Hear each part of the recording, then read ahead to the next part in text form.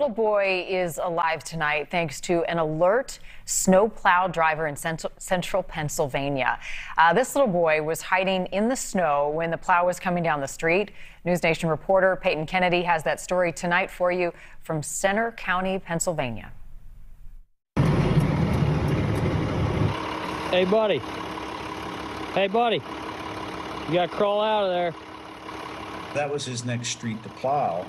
And when he went in slow with the truck, he would, would originally, if had he not seen the child, he'd have just had the pile down and went in there and pushed up against that pile into that cul-de-sac. Eric Brooks, the public works director for State College, gives kudos to the plow driver for being alert, as there's a lot to keep track of when in the front seat. They actually have a, a monitor in there that they're watching.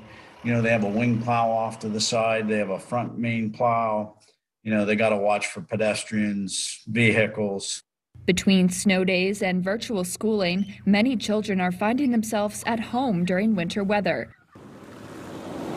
Clearing roads can take hours, and both parties must stay aware. There's so many positive benefits of getting outside and playing, but just to be aware of your surroundings. They don't discourage people from enjoying the snow, but advise they stick to backyards and parks and stay away from main roads, sidewalks, medians, and pileups.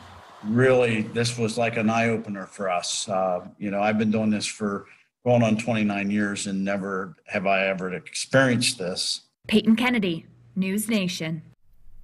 Ah, you can see how those mistakes happen. You know, it gets Easy. dangerous. The conditions, the kids are little, running around, the roads are slip. I mean, They're just playing in the snow. Right. They don't think anything of it. No, it's a good warning because a lot of places have a lot of snow right now. wow. Be careful.